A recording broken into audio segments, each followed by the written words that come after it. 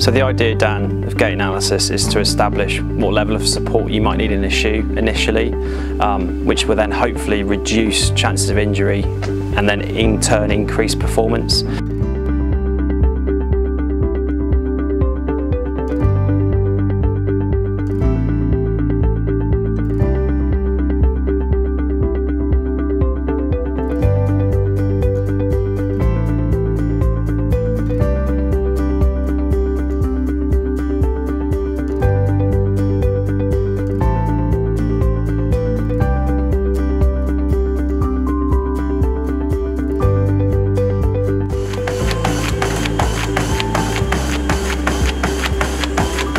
So I've had the analysis done and I do 25 to 30 miles a week and I've got to say, having done some runs in the new shoes, they make such a massive difference uh, than the shoes I came into the shop with. So I'm absolutely delighted um, with the service and completely injury free and loving it.